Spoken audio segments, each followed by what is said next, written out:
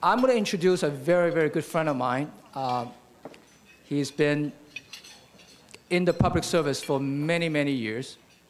And that is uh, Honorable Gray Davis, uh, former governor of the state of California. In fact, Governor Davis has been a really good friend of Committee 100 for the last several years.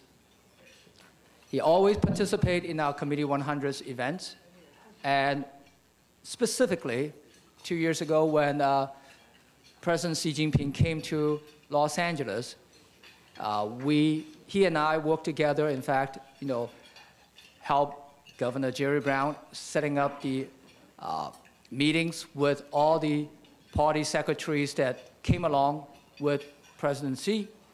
In addition to that, whenever there are delegations from, from China who, come, uh, who came out to visit, every now and then when I need to have a senior government official to help me out, you know, to make sure C100 look more present, presentable, I always can count on him to be right by my side to do the greeting.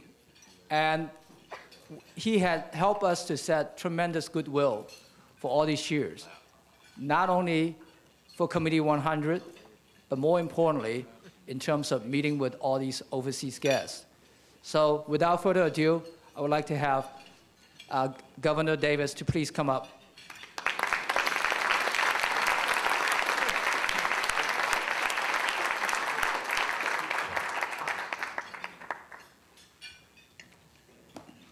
Thank you, Dominic, and uh, Ni hao, and thank you to uh, the Committee of 100 I'm so proud of, of what you have done over the last 25 years to strengthen relationships between the United States and China and to encourage uh, Chinese Americans to take a more active role uh, in the public policy affairs of, uh, of America. Uh, I'm um, very pleased to be able to introduce uh, one of our featured speakers today. I worked with Jerry Brown in the 70s and early 80s when he was governor the first two times.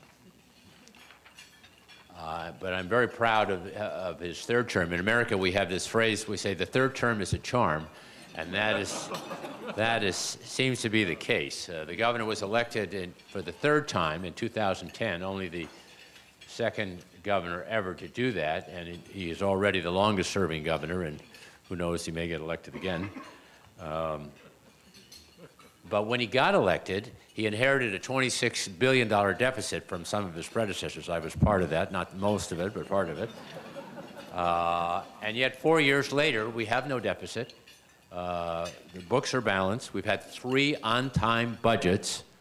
I spoke to uh, Governor, I spoke to the bond buyer conference, and it just blew them away that we actually are getting on time budgets. Uh, but that's a testimony to his uh, hard work and the legislative leaders. And he's also uh, focused on uh, um, job creation. We led the nation in 2013 in private sector job creations, over 300,000. Uh, so some very good things are happening. Now, how, how did that happen? After everyone making fun of California for years and years and years, how did we all of a sudden become kind of the turnaround story for America? Well, uh, the governor and the legislature made some very tough cuts.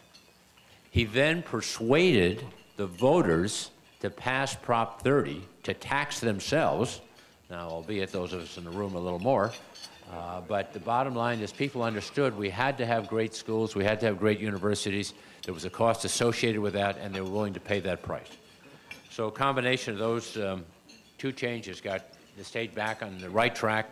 The financial analysts have upgraded us twice, and now the governor is pursuing a uh, rainy day fund. Uh, David Dreier and other people who've been in government know, we, and John Chiang, the uh, controller, knows we go through these cycles. We have great years when all kinds of money comes in, and then bad years when no money comes in. And to level that thing out, uh, he's proposing the adoption of a rainy day fund, which will take capital gains driven uh, uh, revenues, Professor, and put them in a separate account only for capital purposes, possibly for pension uh, purposes, but to basically pay down the wall of debt uh, that he inherited. In addition to righting the financial ship, as you know, the governor took a trip to China last year promoting uh, all kinds of California exports from uh, Napa wine to agricultural exports to our agricultural technology. And there's been a lot of follow-up on that, and I think you're going to see uh, China and the United States working very closely on uh, pollution controls and mechanisms to reduce pollution, in China. Uh, back here, he has always been ahead of his time. I was pri privileged to work with him the first two years. Uh, he had a 55% solar tax credit, was worried about carbon reduction way back then. He's still fighting climate change, determined to have America's first high-speed rail, um, going to fix California's broken water system, which, by the way, provides water to uh, America's largest agricultural economy, California, and about two-thirds of the people who live in part of the state where it doesn't rain very much. And he's also focused on um, helping low-performing schools. At the college level, he wants to reduce uh, uh, the, the debt that uh, may, some say, uh, discourage people from buying homes have so much college debt by encouraging greater use of online courses to reduce the amount of tuition and reduce the, uh, the cost of going to college. So he's got a very aggressive agenda. Uh, let me close with this one thought. I've been in, associated with government for over 31 years, uh, starting with Governor Brown way back in 1975. By the way, uh, some people wonder why that seven and a half minute speech uh, that he gave for his inaugural address was so short. Well, I don't think he'll be too offended if I share this because the statute of limitations has run. He started writing it at 10:30 at night. So by 2 o'clock, we had seven minutes done. We all went to bed. It was a seven-minute speech. But it was very well received and uh, kind of was a sign of the uh, frugal, simple, uh, back to basics approach that he has taken to California, which has got us on the right track. In any event, everyone said from the moment I walked into uh, his office in 1975, is California governable? And I think after the last four years uh, under Governor Brown's leadership, the answer is a resounding yes. So please give the governor of California, Jerry Brown, a warm welcome.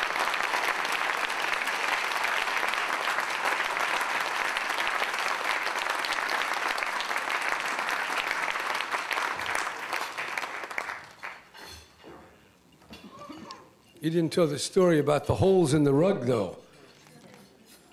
When I came into office, I followed an actor. You know about him, Ronald Reagan.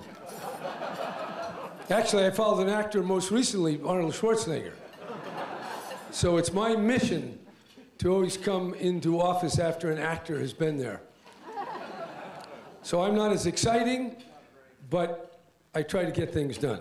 Anyway, when I came in the first time, uh, it had been eight years.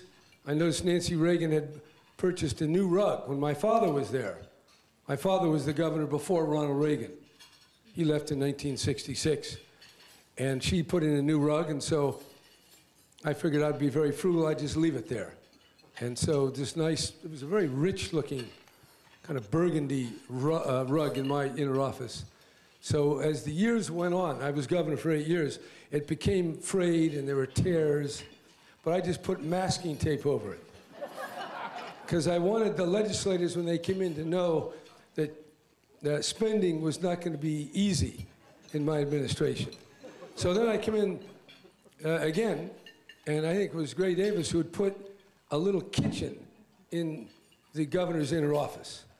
And I guess we had a little kitchen there, and Schwarzenegger kept it. So I said, we got to take that thing out. I like, I want more, more room. I like to get up and walk around.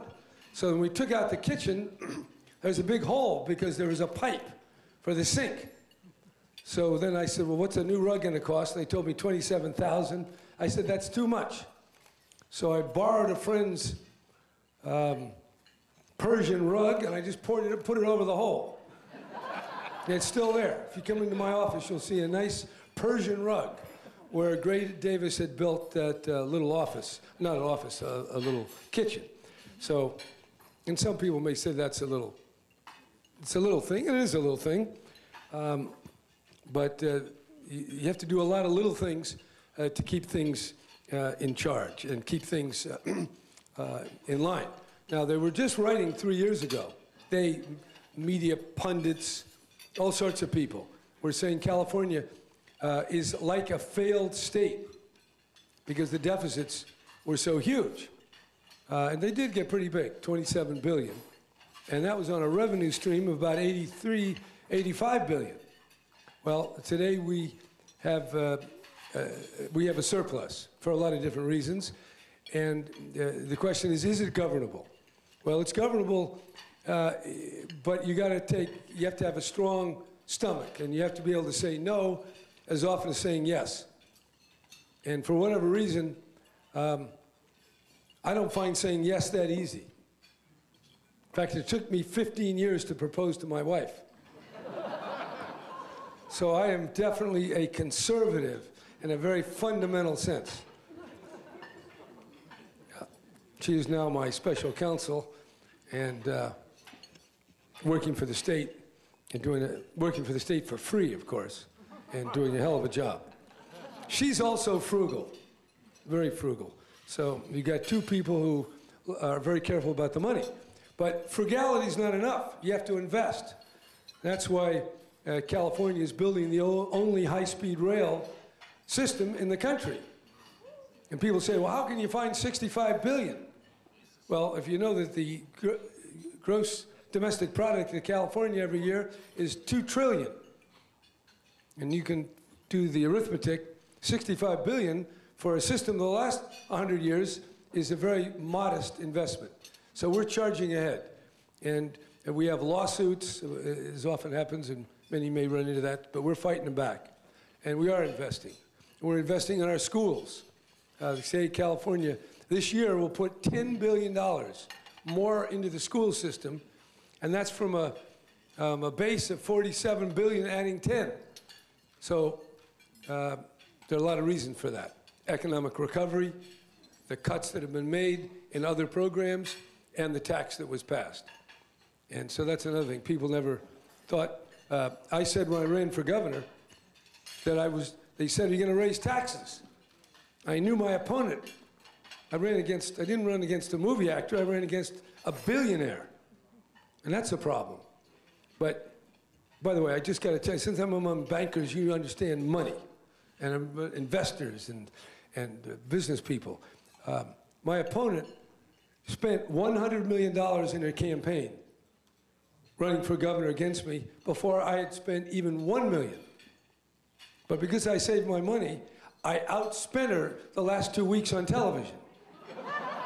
Because I had saved. And so I don't, I believe in spending money, but I believe in spending it wisely. And don't buy anything that isn't going to get you what you're trying to achieve. So, anyway, uh, that's that. Uh, there's a lot of things I could talk about, but most importantly, I'm going to talk about the Chinese um, uh, California relationship. We had the privilege to receive the president of China not once, but twice in California. And my wife had the privilege of taking uh, his wife through museums in Palm Springs, and we had a chance to have a, a personal meeting uh, with the president. We talked about uh, California and China. Now, you might wonder how can this little state of California have its own policy with the big nation of China? Well, we do. That's just the way it is. California is a nation state. no, it is. We're, we're, we're not leaving the Union, however. We're too connected. We're very connected. But because so little is going on in Washington, it opens up space and opportunity to do things in California. And that's why on my last trip to China, uh, we actually signed between the state of California a memorandum of understanding with the Development and Reform Commission of, of the People's Republic of China. And I believe it's the first state that has signed a formal agreement uh, with a uh, entity of the national government in China. And we're going to do more. We have actually native born Chinese working in our Air Resources Board, and they uh, are working on joint efforts uh, to curb pollution in various provinces, in Guangdong and Shanghai and other places. So we are committed to build a very uh, deep and pervasive relationship with China. And we're doing that based on tourism, based on exports, uh, based on agriculture, uh, based on investments in movies, uh, in high technology, in biocom, uh, the internet investments, uh, renewable energy, uh, and all sorts of things. So we have a lot of connections, and we want to uh, make it. And there are, I'm not saying business in California is easy. We have a lot of regulations, we have a lot of lawsuits, uh, we have a lot of taxes. But as I was talking to, I was talking to a fellow I met at a, uh, one evening, and um, he was of Indian descent, and he told me, he said he'd started uh, three businesses in, in California. I said, why are you in California? Don't the taxes and the regulations bother you? He said, no. He said, I find that here in Silicon Valley, there's the smartest people who are making things, and there's the smartest investors who give these smart people money. So I haven't found anywhere else in the world where there's as many smart people with money able to invest in these other smart people who are doing all these things. So with that, he's able to overcome whatever the uh, limitations are. And some people say it's expensive to live here. Well, this is the way I compare California and Texas. Anybody here from Texas, by the way? Look, you know, you didn't, you didn't have this banquet at Motel 6, right? You want to go to the Four Seasons, you want to go to the Ritz Carlton, you pay a little more than if you go to the Motel 6. Well, you want to live in California, you got to pay a little more. But it's high quality, prestige pricing. You get what you pay for. And you get a lot if you're in California. And to the extent we have any problems, we're going to solve them. Just let me know what they are. Before I go, just give me your card. If you have a particular problem, let me know. Uh, we're, but we are, uh, I feel, a, real connection to, uh, to not only the Chinese community, but uh, China itself. The people uh, left China to come uh, to this city, to Gold Mountain, uh, around the time of the gold rush. At the same time, my forebears, my great grandparents were leaving Ireland and were leaving Germany, and they came here. And I feel that connection particularly because uh, my great grandfather, who worked the land, came here, didn't know any English, um, but he worked, bought some land, and uh, farmed. He lived a good life, died in 1907 at the age of 80, and he had a youngest daughter, was my grandmother. Um, she lived till 1974 at the age of 96. And luckily, he got this big, beautiful ranch, and it's still in the family. Because what I learned from my forebears, never sell land, just accumulate more. And that's very true in California, because real estate is not getting, they're not making any more California real estate. So if you want to, may go down for a couple of years, but long term, uh, this is the gateway to the Pacific. And so we've established an office in Shanghai. Uh, we have uh, brought a very large delegation over uh, just last year. We'll have more of that. And I'm looking to forge agreements, not just with China, but with Mexico, uh, with Canada, with Germany, and other places uh, on a wide range of subjects. And one particular, uh, energy, renewable energy, and climate change is one that's uh, very, uh, very important to everyone. And it won't work unless we're all in it together. and that's why it's a great thing that California can work on the pollution problems of China.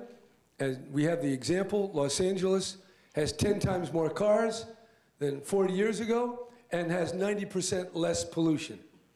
Well, that's a matter of regulation, investment, and technology, and a willingness of, of people to do what we need to do. So we have that kind of expertise, and we want to work uh, with our uh, partners in China, and we want them uh, to work with us. So we're looking for investment uh, here, and we're looking for collaboration uh, across uh, many, many sectors.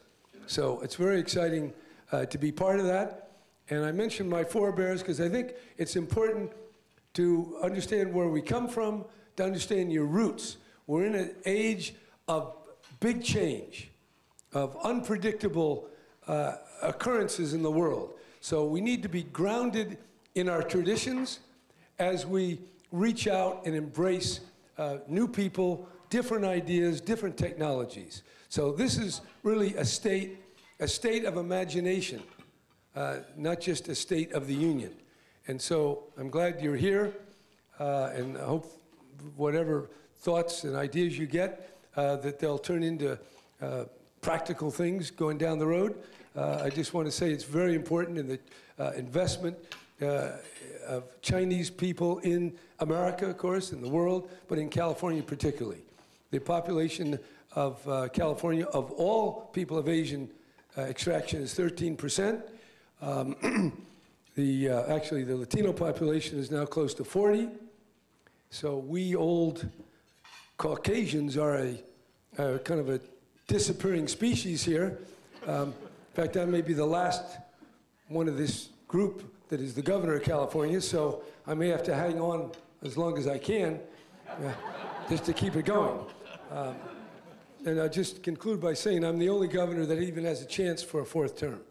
Um, they, they have a rule in California you can only be a governor two terms, but it doesn't apply to me. It doesn't. Uh, by the way, another point, you know, I'm a Democrat. I imagine you got a few Republicans here. In California, there have only been four Democratic governors since 1895. Four. Two are named Brown, one is named Davis.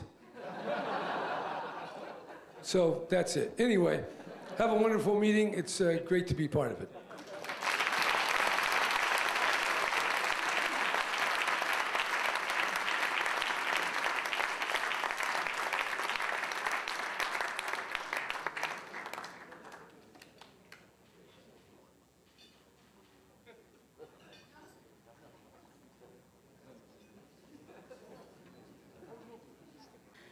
It is my deepest honor to be introducing to you our keynote speaker today. Uh, professor Joseph E. Stiglitz uh, is university professor at Columbia University, where I come from New York as well, so we're fellow New Yorkers. Welcome. Uh, he is the winner of the 2001 Nobel Memorial Prize in Economics and a lead author of the 1995 PP, IPP, IPCC report which shared the 2007 Nobel Peace Prize. He was chairman of the U.S. Council of Economic Advisors under President Clinton and chief economist and senior vice president of the World Bank during 1997 to 2000. Dr. Stiglitz received the John Bates Clark Medal awarded annually to American econ- economists under 40. Of course, he's a little older than that today and continued to win many awards who has made the most significant contribution to this subject. He was a Fulbright Scholar at Cambridge University, held the Drummond Professorship in All Souls College at Oxford, and has also taught at MIT, Yale, Stanford, and Princeton. He is the author, most recently, of the, uh, sorry, the Price of Inequality, How Today's Divided Society Endangers Our Future. In 2011, Time magazine named him one of the world's 100 most influential people. The subject of inequality is on top of many of our minds today, so we'd like to welcome Dr. You.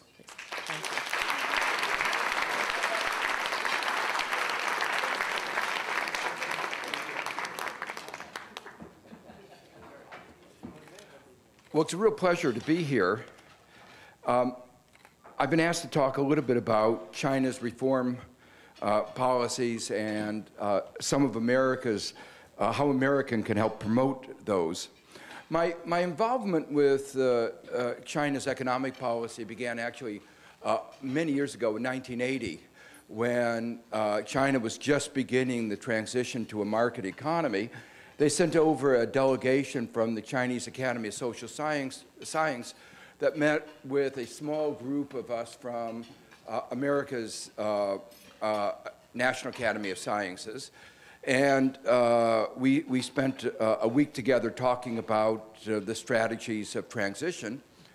I'd like to think that some of the advice that we gave then helped them, help China make a much more successful transition than the advice given by some of my colleagues to Russia uh, when it began its transition in, in, in 1989. I won't go through the details of how, what we said and what they said and, and why um, China has done so much better.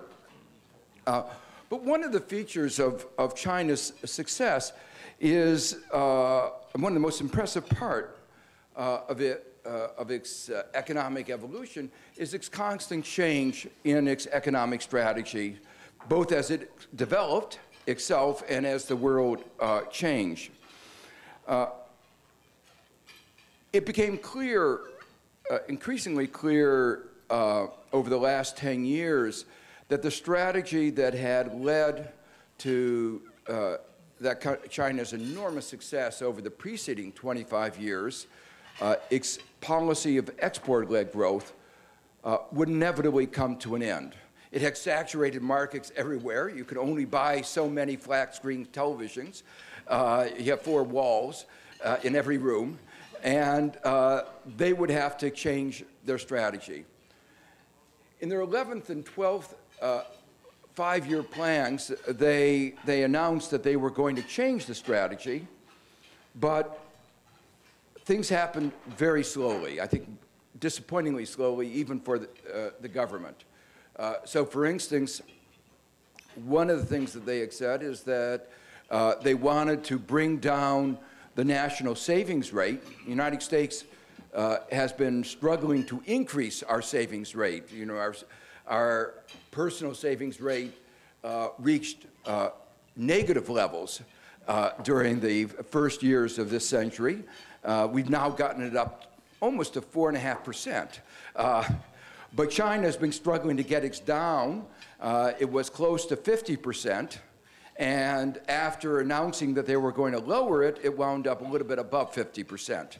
Um, so uh, there's been a little bit of, of, of, adjustment of numbers as they discovered GDP that they hadn't counted, uh, and GDP was a little bit larger uh, than they thought. But the necessity of moving away from export-led growth uh, has long been recognized. But the 2008 crisis brought uh, this uh, issue to, to, to uh, uh, the four, the to, to a head. Um, it became clear that with the export markets in the United States and Europe plummeting, they had to change their economic strategy. They had no choice. And um, if you look at the data that uh, followed the uh, collapse of Lehman Brothers in uh, September 2008, the, the, the decline in trade was actually greater than in the Great Depression. And China responded in a way that was uh, impressive. I, I, I'd like to think that they uh, perhaps had read our textbooks. Uh, they were much better students of Western economics than those in Washington, and certainly much better than those in Brussels. Uh, because they understood that when the economy was going down, uh, you need to stimulate the economy.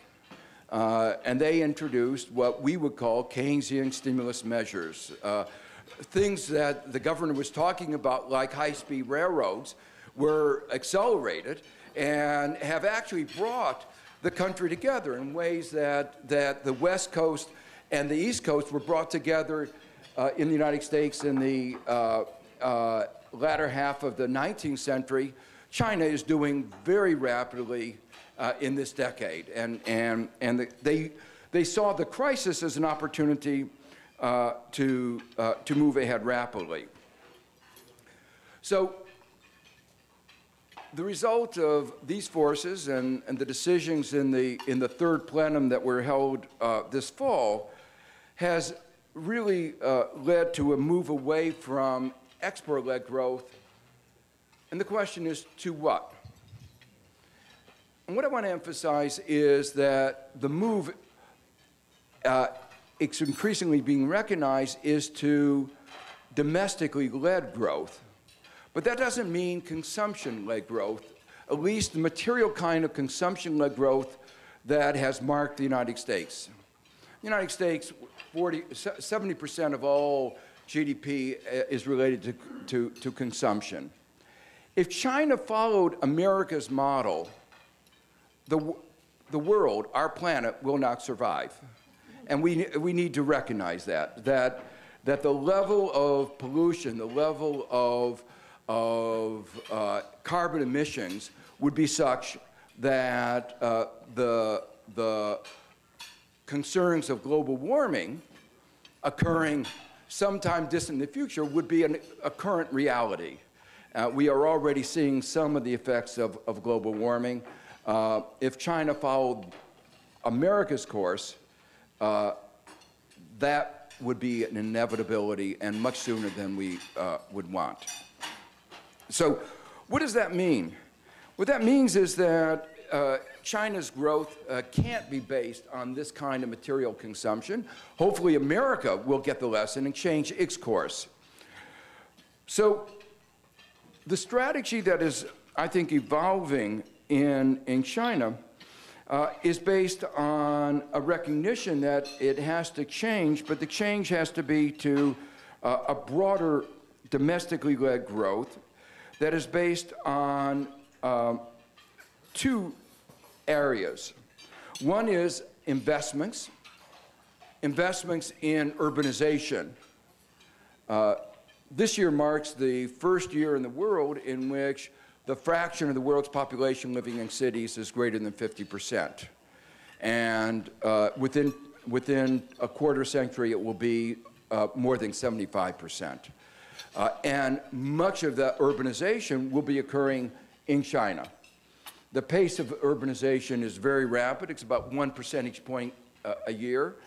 And uh, it will be absolutely essential for them to make investments in the cities to make the cities, you might say, livable. Parks, public transportation.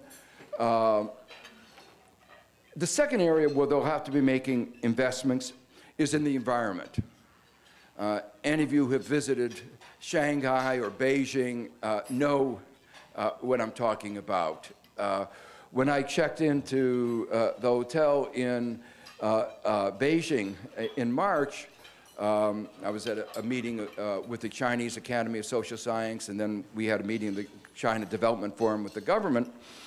they issued face masks because the pollution was so bad, and we were warned not to go outside. So uh, that's obviously an important, you know, you talk about the quality of life, the governor was talking about the quality of life. If you can't breathe the air, uh, that is a, a, very big negative in the quality of life. It's going to take a lot of investment in order to change the, uh, the, the economy away from uh, these activities that are very adverse to the environment to a, uh, uh, you might say, a green economy. So those are two of the areas that will be uh, very paramount in its strategy. Uh, the other thing is moving to a more service sector economy. Uh, China's economy has been very much oriented around manufacturing. That was really where the success has been. But advanced economies increasingly today are service sector economies. The United States is uh, uh, manufacturing is now about 9% of GDP. You wouldn't know it from the amount we talk about manufacturing, and uh, it's been at that level, less than 12% for a very long time. A lot of discussion about manufacturing coming back. It's not going to happen. It may happen a little bit, but the likelihood is that manufacturing will remain in the United States under 10% uh, China will be moving more to the service sector economy, and that's partly because the things that people care about are, and the areas that, that there has been weakness have been in the service sector. What people care about right now are things like education, health, some of the things the government mentioned about tourism. Those are all things that people really uh, want to consume more of. The good news is those areas are not as bad for the environment as the materialistic, goods oriented patterns of consumption that have marked uh, uh, the United States. So uh, uh these are going to be other areas where there will be uh, significant increases in domestically led demand. One of the, one of the ideas that came out very strongly from the third plenum report that I mentioned earlier was that the uh, uh, decision that uh, market should play a decisive role in, the, uh, in resource allocation. It's a continuation of China's move to a market economy uh, with Chinese characteristics. One has to understand, though, what that phrase means and what, what, they, what I think they have in mind, and this is based on a discussion with a large number of senior government officials. Uh, what they're really focusing on is addressing the problems in the state-owned enterprises, uh, moving more of the state-owned enterprises out of the state and into the private sector. Many of those activities, there are no good rationale for them to be in the state. And, and there's a really thoughtfulness going on of the question of what activity should be conducted by the government and what activity should be conducted by the private sector. Uh, It's a really very thoughtful discussion. But as what they think about that issue, they'll have to think more broadly about the set of problems facing China's society today. And in many of these areas, in many of the major areas facing uh, society, uh, it's not the market that will provide the answer. It will require uh, an active role for the state, for the government. Let me just mention some of the key issues that are, are uh, uh, at the core of, of China's continuing uh, development, continuing movement to a market economy. Three of them I've already referred to earlier, urbanization, health, and education. Uh, two of the other areas, uh, one of which I've already mentioned, is the environment. Uh, and finally, one of the problems that they've been concerned with now for more than a, uh, a decade is growing inequality.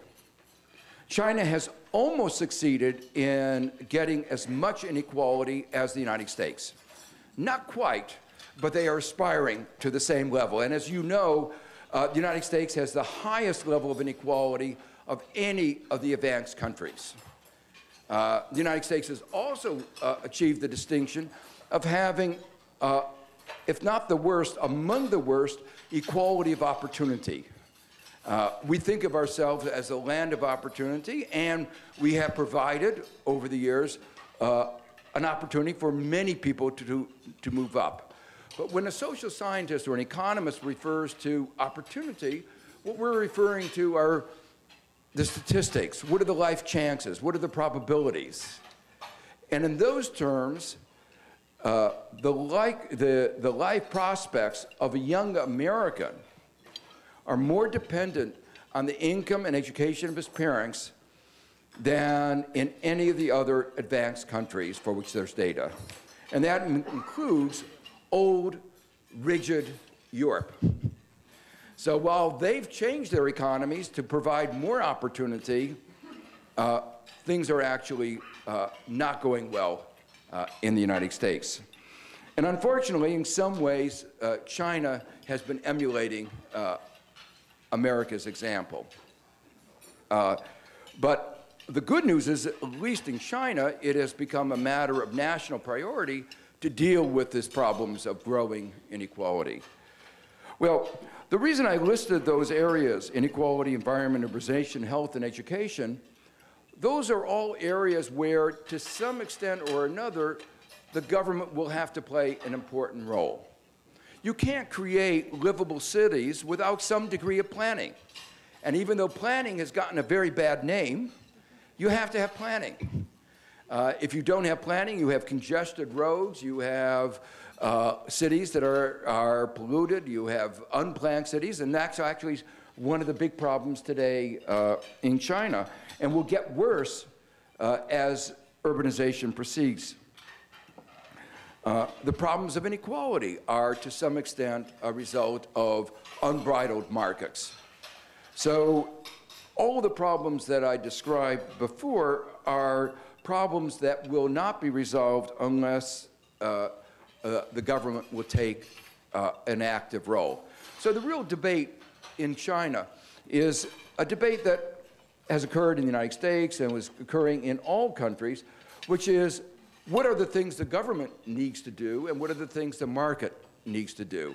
a realization that the government was doing not too much, but the wrong things. And the real, real, real, realization that, that uh, the strategies will have to be changed.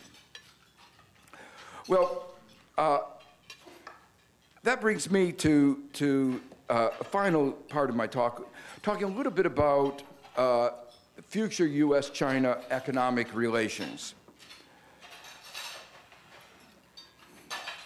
The change in China's economic strategy is going to mean that the large uh, trade surpluses that have characterized China in the past are likely to get much smaller.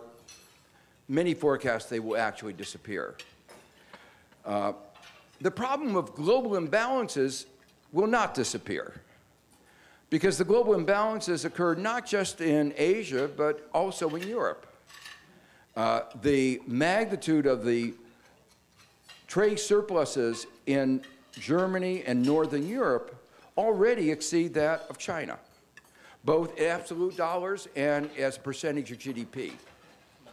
And uh, China is now no longer the major source of trade, of trade imbalances, and those are likely to come down, as I said, very rapidly. Unfortunately, though, this won't solve the tension in U.S. trade between China and America.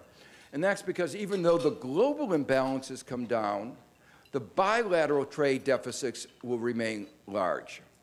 So, one way of thinking about what is going on is as China uh, uh, moves away from its export led growth uh, to more domestic consumption uh, and, and domestic uh, demand, the areas that I talked about are not going to lead to significant increases in U.S. exports. If it expands its education and health system, it's not going to be exporting that much more to the United States. As it goes about urbanization, that's not going to by itself lead to more exports to the United States. So that new strategy in China will lead to a reduction in its global trade uh, surplus, but won't have as much effect on U.S.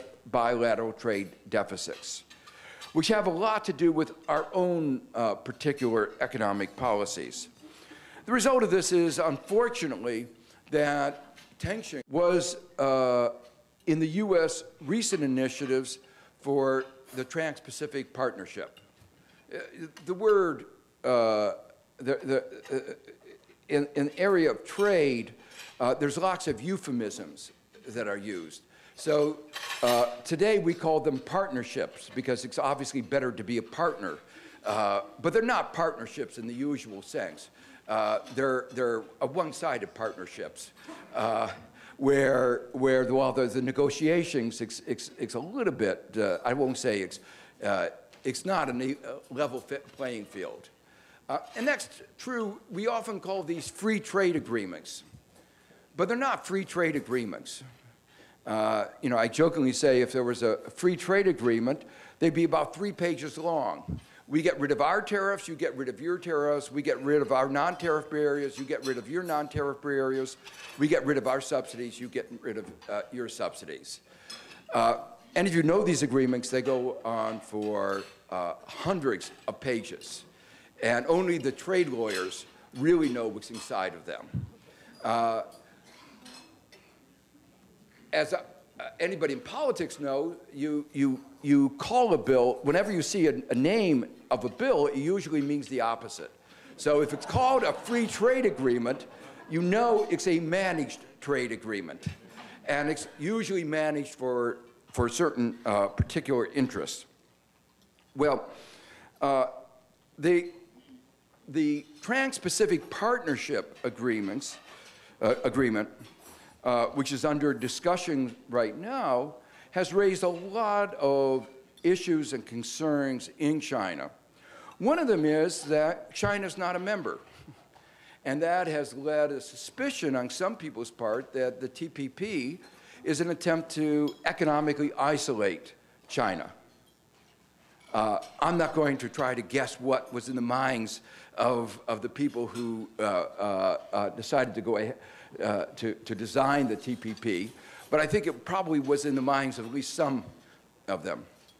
From an economic point of view, there's a real concern because one of the successes of Asia has been the development of an Asia supply chain where goods move freely around from one country to another.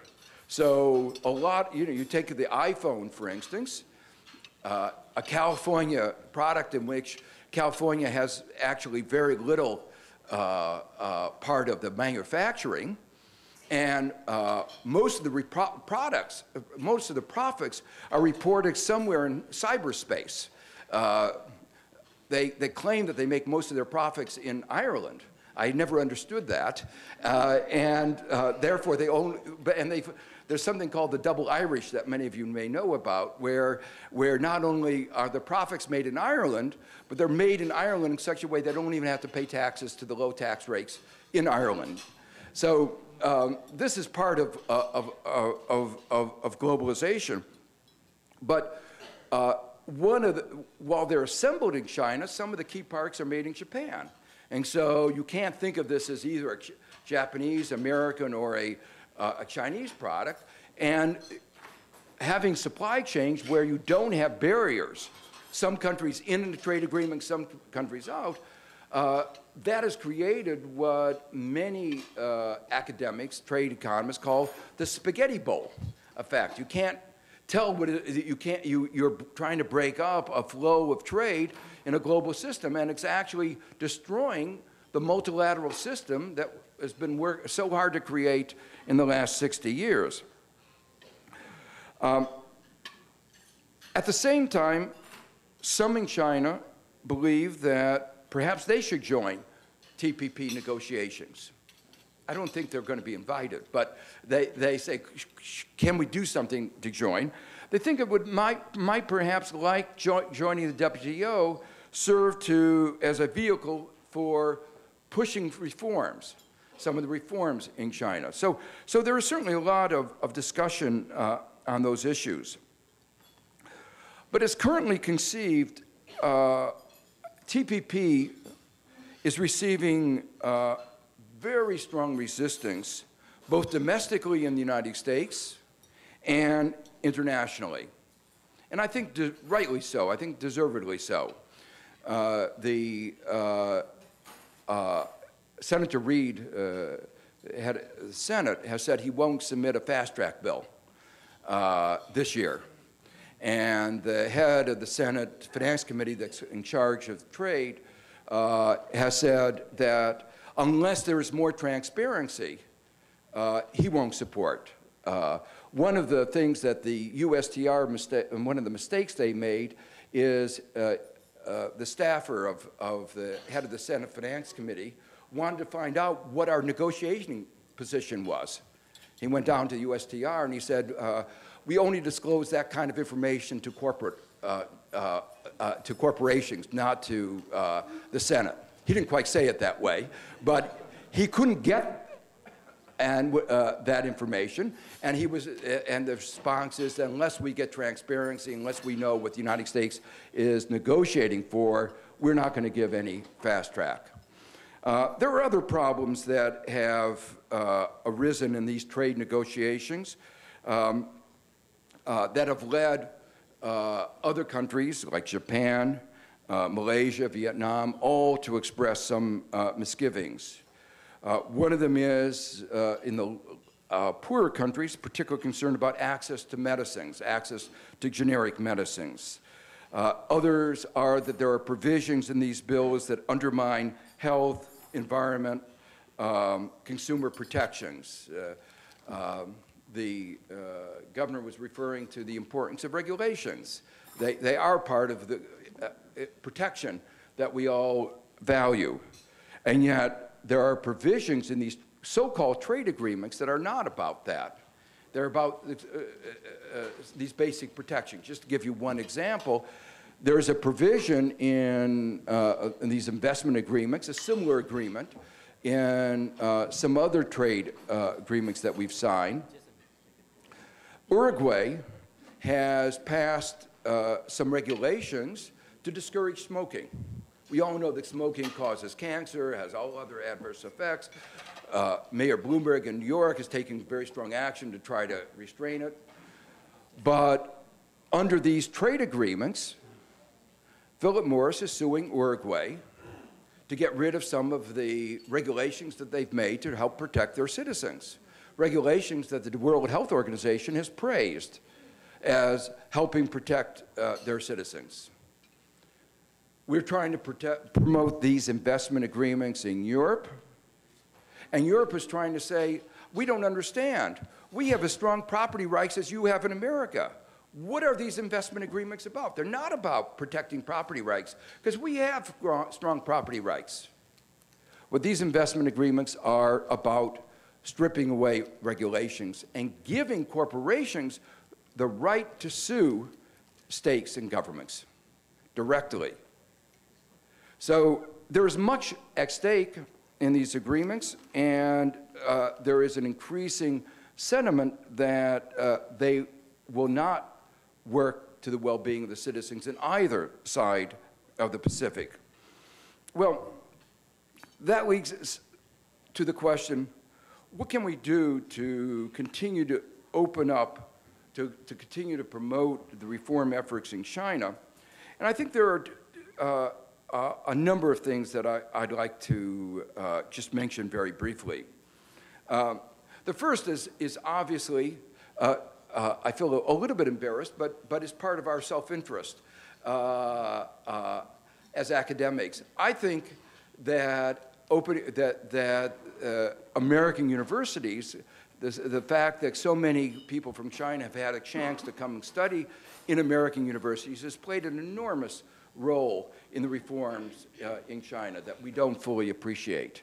That, uh, that changing mindsets is really at, at the core of success.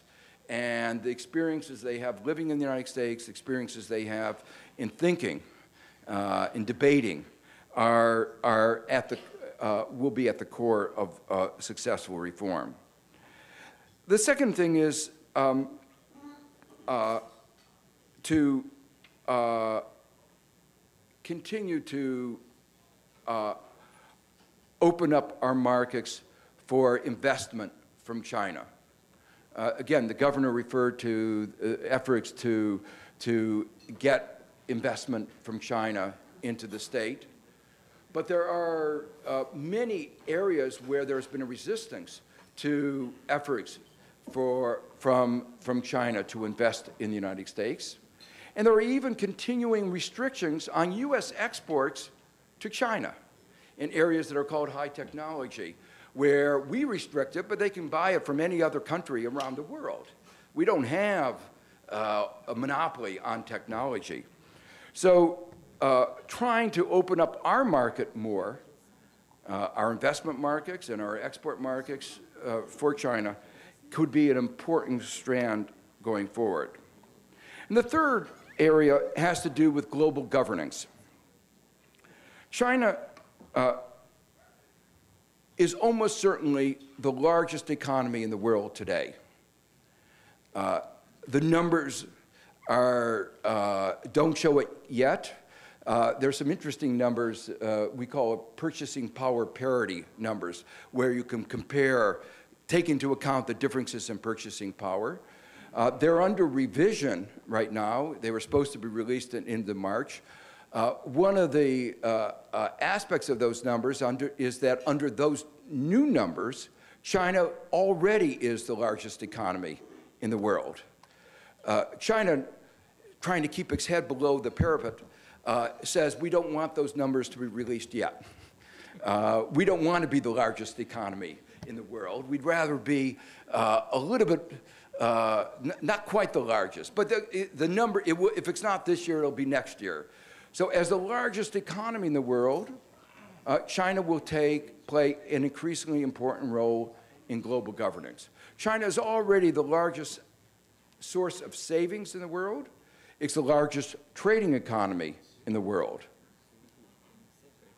And given its size, it will have to play a larger and larger role in global governance.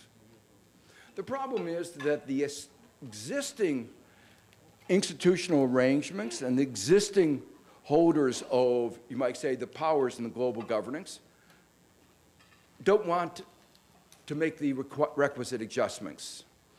You take the IMF, the World Bank, uh, there have been some adjustments, but the framework basically is a framework that was determined about the relative size of the economies back in 1944 when those institutions were established. As I say, there have been some adjustments, but to give you one example, mild, very mild reforms in the governance were approved by the G20. But they had to be voted on by the governments of each of the countries. And the United States Congress refuses to adopt even the mild adjustments in global governance that would move us slightly to the direction of the realities that we have today.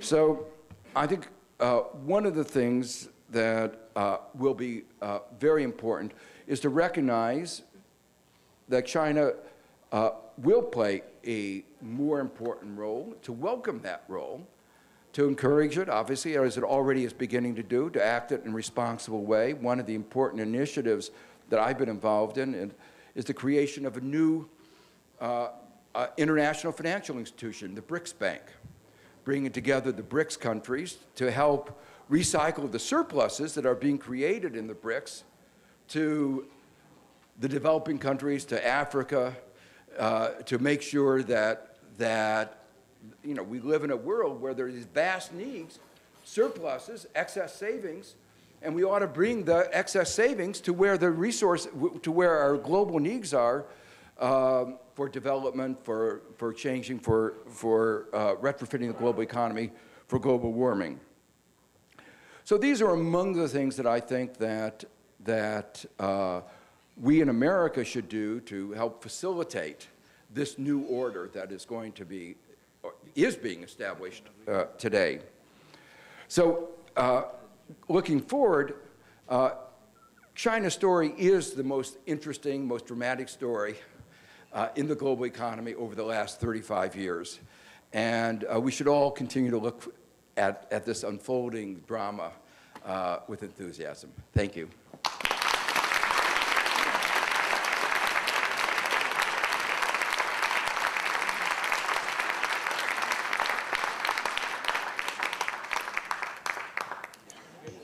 Thank you so much, uh, Professor Stiglitz. That was a really interesting and uh, insightful uh, talk. Um, I must say that I'm particularly honored to, to thank uh, Professor Stiglitz because not only am I a, a member of the C100, but also um, uh, an overseer of Columbia Business School, from which uh, Professor Stiglitz hails. And it's good to see him holding the Columbia flag up here. he's too modest to say how really how well respected and regarded he is in China. When I first spoke to uh, Professor Stiglitz some years ago at, at, a Columbia dinner like this, um, I asked him for a review of um, China's economy. He had just returned from an extensive trip there. And um, he gave me a, a very deep, uh, thorough rundown, um, often citing the views of some of the very top economic thinkers in China. So I said, Well, Professor, how do you have access to all these really important people? And he said very modestly, Well, um, most of them are my students. so thank you so much for sharing your wisdom with us. You have many more students here today. Now, for our next treat, um, I'm very honored to be able to introduce you to um, Secretary um, Lin Jianhai, who is the Secretary of the International Monetary Fund. And he will be sharing with you his own perspective on the, the biggest question that uh, has absorbed so many global uh, uh, watchers. What is going on in China? How is the economy faring? What are the effects, both uh, short term and long term, of the radical reforms that are being put into place?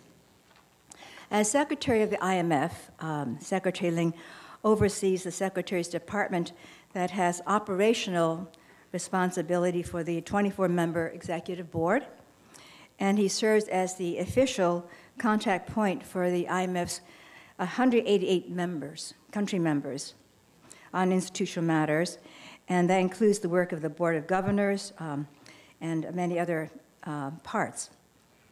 Secretary Lin is a Chinese native, um, but uh, he has spent good time in the U.S.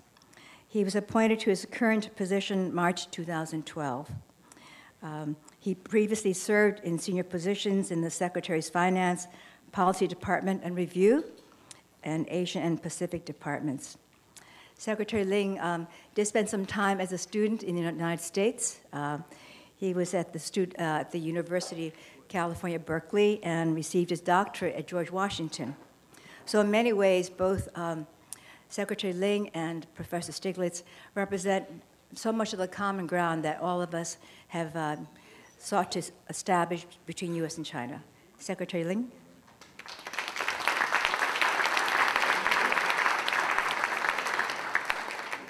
Thank you so much, uh, uh, Lulu, for your warm words. And also thank you all uh, for coming to the lunch. I'm delighted to be here, uh, owing to thanks to uh, Dominic and C100. And it's really my great pleasure to be with so many of you uh, today. So normally we say, you know, we often would have a great difficulty or very intimidating to speak after a great speaker like Professor Stiglitz. However, I find his speech always, always very inspiring and uh, very insightful. So with that aspiration, let me offer my remarks. So I would like to take this opportunity to share with you a few broad global issues, as well as some issues in emerging market economies, including China. So first, global economy. Earlier this month, the IMF and the World Bank had its annual, we call spring meeting gathering uh, of all the membership, 188 countries. About 7,000 people came, officials, academic, uh, private sector, and media, to discuss global economic prospects, risks, and policy responses. So from these meetings, there was a sense clearly that global economy is slowly turning the corner. So global, global prospects are improving. Our projection shows global economic growth will be around 3.6% this year and could rise to 4% next year. Then the question is, how this, does this mean that you know, we are out of the crisis, which you know, uh, uh, has been with us for the past five years? Yes, in some aspects, and no in others, in my view. In my view, we are heading toward the right direction, but we still have a long way to go to build a global economy that is strong, balanced, inclusive, and sustainable. So, good news aside, we continue to face some old problems as well as some new risks. So, let me briefly mention. First, global growth, as I said, is still slow and uneven. Emerging market developing countries continue to lead global growth, which have contributed in a very big way during the financial crisis, and will continue to do so this year and the next. I will touch upon more detail later on. It is expected that this group will grow by 5% this year and could reach 5.5% next year economic activity, as you all know, in the US continues to improve. Growth is expected to be close to 3% this year and the next. In the euro area, after you know, negative growth in the past two years, a modest recovery now is taking hold. So growth is expected to be over 1% positive this year and could reach 1.5% next year. So therefore, overall, global prospects, as I said, slowly strengthen. However, problems still continue. Unemployment remains very high in many countries, particularly in Europe. Today, more than 200 million people are still out of job. 75 million are young people, and some fresh uh, college graduates. Spain and Greece unemployment remains close to 30%, very high. Second, large government debt burdens also remain a problem in many advanced economies. In many countries, the government debt to GDP ratio is at a record high level since World War II. Third, financial sector reform is still incomplete. As we all recall, it is a problem in this particular sector that triggered the 2008 financial crisis in the first place. Now, these old problems aside, we also see some new risks emerging. I'll name three. First, in advanced economies, particularly in the, Eurozone, the risk of prolonged low inflation, or sometimes you refer to deflation, is looming and need to be addressed quickly and seriously. Otherwise, it could hurt economic recovery. Second new risk is Uh, uh, in emerging market economies, the risk of heightened market volatility, particularly associated with capital outflows and large exchange rate depreciations, partly as a result of the US monetary policy tapering. Third risk, geopolitical tensions, particularly in Ukraine, could also cloud the global outlook. Resolving such tensions, of course, require good policies, but more importantly, good politics. So that's the global outlook. Now, let me now turn to emerging market uh, and developing economies. Now, this is a very large group of countries, including China, India, and many other Asian economies, but as well as also many more on other continents. As a group, these countries have emerged as a very powerful and stabilizing force in the global economy during the financial crisis. So let's look at a few numbers. In 2000, these countries as a group accounted for only one fifth of the global economy, 20%. 10 years later, in 2010, this share rose to one third. Further, three years later, in 2013, the share rose further to close to 40%. Now, this is based on the so-called market exchange rates. If based on the concept uh, Professor uh, Stiglitz referred to, purchasing power parity, the share will be greater.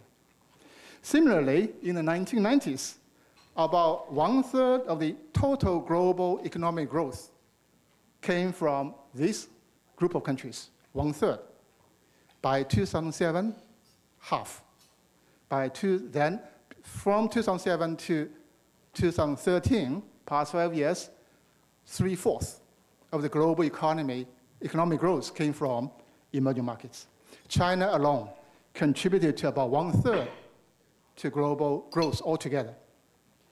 In terms of trade, the share of emerging market economies was very small, 16% in 1990. Today, 40%, and still rising.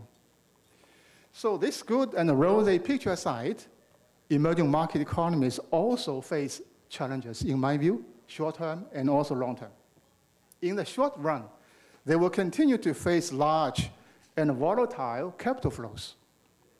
And large capital inflows to these countries could help growth, fuel economic activity, but could also lead to rapid credit expansion and booming housing sector, which we have seen in recent years in some countries. Since last May, all of a sudden there were sudden and large, rapid reversals of capital flows. Part of the reason why, because the former US Fed Chairman Bernanke hinted last May at the US monetary policy tapering. So money flew out of the emerging markets. Now this created large exchange rate movements, big uncertainties, and thus some lower economic activity in many emerging markets. So some of you may wonder then, will emerging market economies experience financial crises such as the one in Asia in late 1990s? So in my view, this is not likely, at least for now. Three reasons.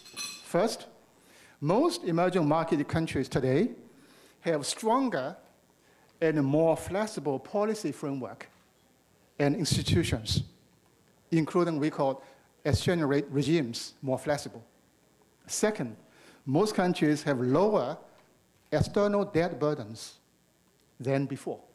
Third, most countries have much higher international reserves, thus stronger buffers against any potential risks. So as a result, these countries have been able to respond to volatile capital movements recently more quickly and forcefully than before. Now let me mention a few longer-term challenges facing these countries. Here I see two or three, probably three. The first one is relatively weak financial sector in these countries.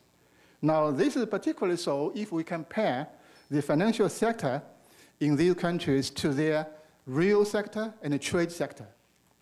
For example, emerging market economies account for only 25% of the global equity market, 15% of the global bond market, but their economic size and trade size account for roughly 40%. So here's the difference. Therefore, there is a big room for these countries to develop the financial sector in support of a sustained economic growth in a long time to come. Second challenge is increasing pressure on public spending. Looking back, when the advanced economies were in the developing stage, public spending surged from 20% of GDP in 1960s to 30% of GDP in 70s and to 40% of GDP in late 1980s and early 1990s. So big number, 20, 30, 40. Why high spending? Because of the, you know, the, the population aging, pension requirements, health care requirements, other social services, also desire for better, more education, and infrastructure needs. So the question then is, will emerging market economies follow a similar path of increasing public spending pressure in years ahead? If so, how should they be prepared for it? So that's a question mark there. Third long-term challenge, in my view, facing these countries is how to ensure that economic growth will be more inclusive and friendlier to the environment and also sustainable. So here I will touch upon a little bit more detail uh, when we discuss China. So now China. On China, I share so many points uh, discussed by Professor Stiglitz. I know totally and 100% uh, you know, sharing these, these views. So I thought the point was so good, I'd like to repeat a few, if you don't mind. so as we all know, right, China has written a remarkable history, in my view, in economic history over the past 30 years. A few numbers will demonstrate. Since 1980, China has grown at a rate of close to 10% a year. 500 million people have been lifted out of poverty. 350 million jobs have been offered. China's share in global economy has increased multifold to 12% last year based on the market exchange rate calculation, and now second largest. China's exports surpassed US last year to the world largest. In technology, which I have been most impressed, China is now home to the world's largest network of high-speed railways, 15,000 kilometers, half of the world total. In just six years, China has gone from importing this technology to exporting it now, which is truly amazing. So when I started in Beijing in the mid-1970s, a long time ago, it took me normally four or five days one way from my hometown in Zhejiang province to Beijing. Today, two and a half hours by air, 10 hours by high-speed train. So last year, know, I took my family to China. We particularly tried to take the speed train from uh, Wenzhou, my hometown, to Hangzhou, then to Shanghai. It's so impressive. So my kids said, next time, we'll do it again. So I will also encourage you, when you go to China, try speed, uh, uh, you know, the speed train. Just very impressive. So in addition, China is playing a very, you know, uh, increasingly active, important, important role in major international fora such as G20, IMF, uh, World Bank, APEC, and others. Now, these are good things. So good things aside, China is also facing some challenges. While headline GDP numbers are still impressive, 7.4, 7.5%, serious problems remain and need to be overcome, like Professor Stiglitz uh, uh, mentioned. So in my view, the overall challenge is clear, how to make growth more inclusive, friendlier to the environment, and more sustainable, as I mentioned before. Here, I would like to emphasize four elements that might help China meet this challenge. First, unleashing the potential of the services sector, as Professor Stiglitz exactly referred to. Second, building a modern financial sector. So both have a great potential to, to grow further. Third, strengthening inclusive and safeguarding the environment. And finally, increasing the quality of growth. So let me just be very brief on the four points. First, services sector. China indeed is now a, the manufacturing powerhouse in the world economy. The next round of reforms, which are now being undertaken, must or should be aimed at increasing the role of the services sector. Today, China's service sector is relatively underdeveloped, only account for 40% of its GDP, as compared to the world average, 65%, US 80%, BRICS 65%. Even among the uh, uh, BRICS, India pretty low, 55%. So meaning, if China you know, develop its service sector, potential is huge. So that might also provide some business, business opportunities for, for, for you people sitting here. Second, modern financial sector. Financial sector in emerging market, generally speaking, is weak. As I said, mentioned earlier. China is the same. Now, even though China has some largest commercial banks in the world, now recently China has taken commendable steps, including you know, uh, modernizing, uh, including uh, the widening of the exchange rate band uh, and the commitment to completing the process of interest rate liberalization in two years' time. Yet, in my view, there's still some way to go to establish the financial system with strong and transparent regulations and supervision. Indeed, we have recently heard a lot about the rapid expansion of the total social financing, which has risen from 130% GDP in 2008 to about 200% of GDP today. And also the rise of non-bank financial intermediation we often refer to as shadow banking. Third, strengthening inclusion and safeguarding environment. Here, you know, I don't want to go uh, deep into it. I share totally what Professor Stiglitz said. You know, the income equality is a rising problem issue in China. They need to be addressed. On the environment, the governor said so well, here we need good regulation, we need investment, and we need technology. And uh, clearly, we need also patience. It will take, some, take a long time to do so. So final point of the four is striking the right balance between speed and quality of growth. Here, so much has been discussed already, so I will only cite a very few numbers. Research shows that during 2001 and 8, productivity gains in China, efficiency gains in China, contributed to over one third of GDP growth in China. So 10%, about one third came from productivity gain. In more recent years, this share declined to about one fourth. So looking ahead, for China to sustain its growth at a medium to high level, which is official target, it, in my view, must rely more on innovation, knowledge sharing, and productivity gains rather than solely on investment.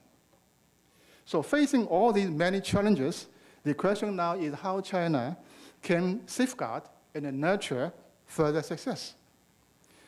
Here again, in my view, success will depend on how China is able to transform and improve its growth by relying more on the role of market forces. Transparent and accountable rules and regulations, and better education and innovation we refer to so often. To me, these are the key. It is innovation that can keep China at the leading edge of economic progress. So I was in China a month ago, together with Professor Stiglitz, attending the China uh, Development Forum, and had opportunity to meet with a lot of people, including in the government. I was very or most impressed by the openness of those I met uh, regarding the problems, challenges China faces. Five years ago, 10 years ago, they were all hiding the problems. You know, they're very shy, but today they're very open. So that itself shows the level of confidence, but also their determination and commitment to overcome these difficulties. Among all the reform measures, altogether there are more than 300 items. Fiscal budgetary reform account for about 200 items of the 300 items. That's massive. But people are very determined. They all recognize that addressing these problems will be a long undertaking, but also know efforts must be made before problems become worse. So indeed, the breadth and the depth of these reforms uh, will require continued, very firm commitments and the spirit, the spirit of bold exploration. Not easy, but if done well, they will indeed support China's next transformation. So now let me conclude. So I have talked quite a bit about the global picture and issues in emerging markets and China, but I have not yet discussed anything about opportunities, which is part of my title of the remarks. As we know in China, we often say challenges and opportunities go hand in hand. And in today's world, which is so connected, interconnected, our prosperity is linked together. And it depends more than ever before our working together. Like the theme of C100, we must seek common ground. So therefore, global challenges require global solutions. Now, as regards to China, I hope I'm able to use these very few words to describe its path ahead. That is, the future is bright, but the road is arduous. Thank you.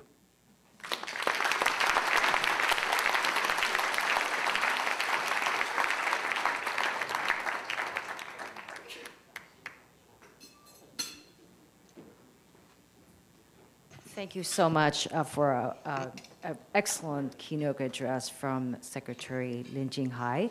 And this concludes the formal part of our speaking program. The, um, the discussion will resume, the session will resume in about 15 minutes, 1:35 to be exact. Please be prompt, 1:35 will meet you back next door. Thank you.